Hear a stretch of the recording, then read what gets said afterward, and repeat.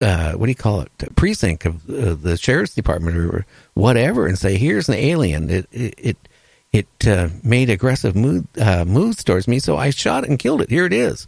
Are we then going to get well can i say this? Can will they retaliate us for killing one of their own? I mean a hundredfold over? I don't know. Mm-hmm yeah, the uh, whole idea of uh, retribution and uh, you know what responsibilities and rights do uh, uh, these kinds of entities have. Uh, that's a that's a whole paranormal legal issue right there that needs to be addressed, and maybe quicker than we think.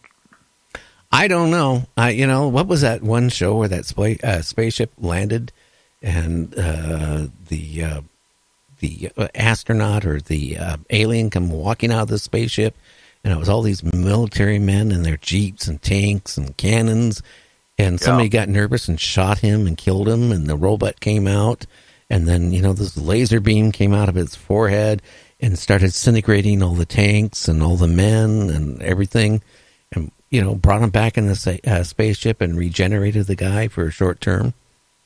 Mm-hmm. Klaatu Barada Nikto. Yeah. That was the, the day the Earth stood still, the classic uh, film with Michael Rennie as the uh, alien. Yeah. And could... the big uh, robot is his, his sidekick. Yeah, who was the actress that fell in love with him? I'm trying to think.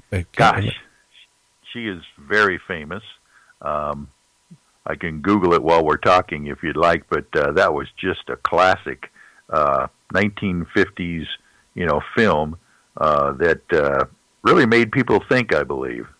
Well, I think it was ahead of its time because you know what? I could see that right now, right? If a UFO actually landed, right? And somebody came out and basically wanted to communicate, right? Because in this case, he was carrying a device he wanted to give to our leader. It would help every, you know, ease man's, you know, problems.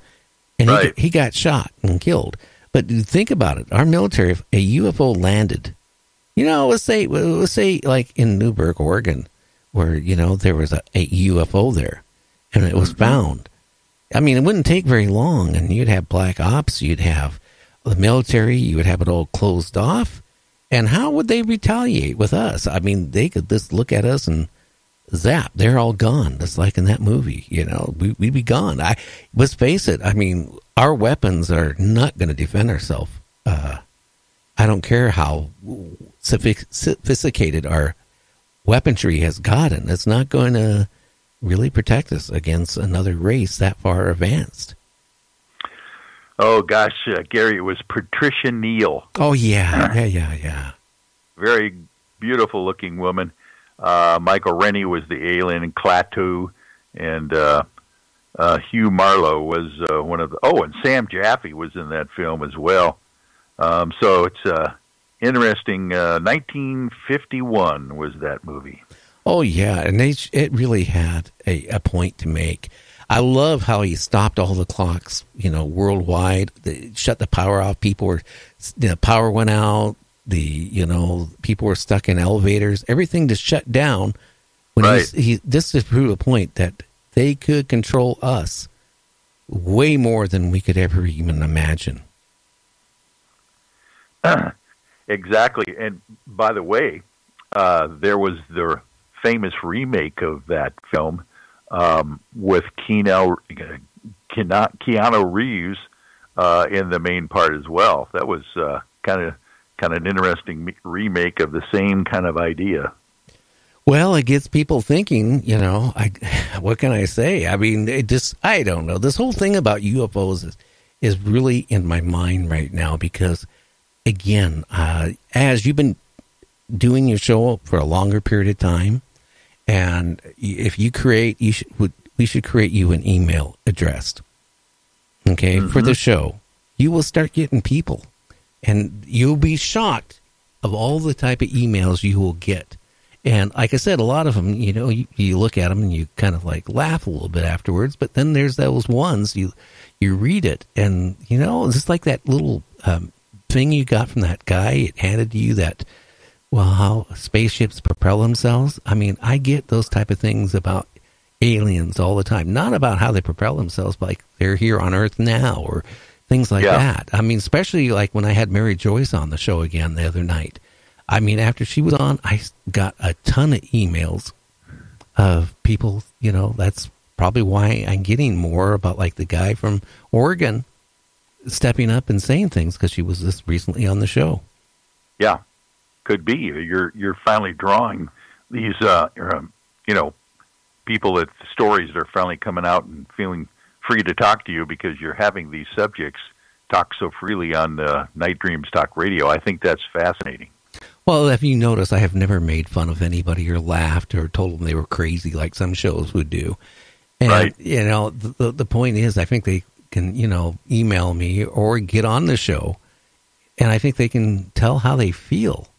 And again, there's a lot of people out there are scared. I mean, seriously, scared to tell people, well, I saw a UFO or I saw an alien or or I saw even a Bigfoot. They're scared to, to tell anybody because they don't want to be labeled as a nut. And a lot of them have very important careers, which, you know, if they sat there and said, well, I saw a UFO or I saw three aliens walking on a side road, you know, kind of, you know, strangely walking with, you know, long arms and, and, and their faces were really horrible looking that they're beyond, the guy said beyond anything you could ever describe as ugly. That's what he said. Wow. And that, you know, and that stands the point because, I mean, we are here, we look like what we look like because one of our gravity on our planet and all that stuff really controls how we look. So if you go on a planet that has less gravity or more gravity, it's going to affect the way we end up looking, how tall we are, how our face forms, how our whatever, and then the the the the uh, genetics and all that stuff, all that. So I mean, what we think is, you know, uh, humanoid might not even be humanoid. I have no idea. Yeah, I think you'll uh, like this uh, idea from Peter Davenport, who sent me a text just uh, recently here. He says, uh, How would we like it on Night Dreams Radio if he not only came on and give us these uh, updated sighting reports, but he brought on the actual witnesses with him and we could actually interview them about what did these aliens look like that you saw, that kind of thing. I, I think that would be fascinating to get some of these uh, witnesses on radio. Yeah, and I mean, if they want, you know, I- I'm all for it. I mean, you know, we don't. They don't have to give their names or what they do, but I mean, I think it would be important to get that out. I really do. And and you know what? It's up to the person who's listening to the show to believe it or not. I mean, as I have always told everybody, this this show is nothing more than entertainment. And that's what you have to take it as. It's entertainment. So, you know, you have to make a decision if it's true or not, or even possibly, you know, true. So that that's the whole point of the show. Yeah. I think people will be able to discern uh, what is the truth uh, from their perspective if they hear it all, if we give them whatever information we can, can glean. Well, I will say this. I, I, I predict in your case, doing your show, it's going to take about a month or so. You're going to, you know, if again, it's important you create an email account for your show. And right. you will get people, you know, asking you stuff, telling you stuff, and you're going to learn a lot more, I hate to say it, than you have in the UFO thing very fastly. I mean, like I said, there isn't a day I don't get an email from people telling me all kinds of wild things. Again, do I believe it? I don't know. I, I until I see it, I kind of like how can I say it? I I just take it in stride. But I don't disbelieve it either because I've seen things in my life that uh, are totally unexplainable. So yeah, I mean, you Yeah. know, that's the scary part. And yeah, I I I don't know if we are being abducted or not, or if we're being harvested, not being harvested, or if we're just here to to help mankind, or again, maybe a sight uh, seers from some planet, just to take pictures of the wildlife on Earth before it disappears. Yes. So uh, we got like about four minutes left. Uh, where you, where do you want to take your show? on Night Dreams, the paranormal lawyer on Saturdays. Where, what, what, tell the people out there what your plans are on your show. Well, you know, my plans would be to uh, get the guests on uh, our show, mine specifically, that we can actually get them to divulge more information that they normally would not give on a radio interview. I think you have that ability, Gary, as and I'm trying to emulate it as well. Well, look at it, look at what happened tonight. Yes. Okay, we were going to talk about you know horses and and you know bringing people's emotional problems and all that stuff, but she intrigued me when she told me she was a criminal attorney for like 13 years, and I it was a lot of questions on that, and and she you know we we got the information out.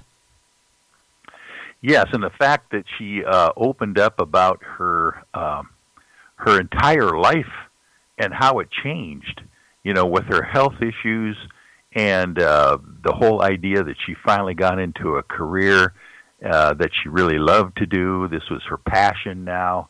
Uh, and uh, those kinds of things are what I intend to elicit from uh, my guests.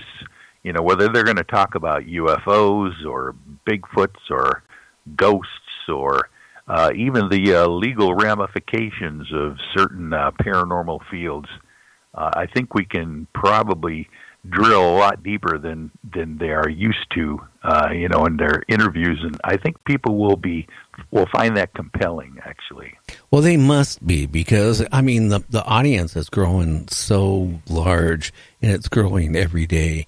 And I think it's because you know what I, I take every person it's on guest on the show and I give them the opportunity to, you know, say what they want to say. I don't mock them. I don't make fun of them, you know, and I, I, I try to get as much information as I can to back up what their stories are. But I try to get the people to be what they are, real, and, and get out their emotions. And that's what's important on this show. Yeah, and, and you don't necessarily ask them this the same standard questions that they've heard every time they get on a radio show. You're coming at it from a different angle. Uh, you're much more relaxed than most of the radio show hosts out there. That's what I would like to be able to provide our guests as well as a good, uh, uh, enjoyable, uh, re- you know, uh, relationship and an entertainment kind of an atmosphere that they can just uh, kick back and really tell us what they think. Well, you know, the same way when you came in my studio, you know, it's small, but I mean, uh, I have a couch here for when I do have company, and I occasionally do, and and a lot of times, you know, the same way.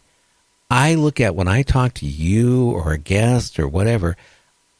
I feel like we're friends. Number one. Number two is like we're talking, sitting on the couch or sitting on the kitchen table, and that's how I I try to conduct my interviews. And and I'll be honest with you, I have my motives. I know what I'm going to do ahead of time. I do as much research as I can on the person, and I know when to kind of deviate away from, you know, the topic and, and get more information, more about the person themselves or their views or what the topic is that the other guys don't do. And I'm sorry, we learned, like tonight, we learned a lot about the criminal system we we learned a lot of things that a lot of people didn't realize.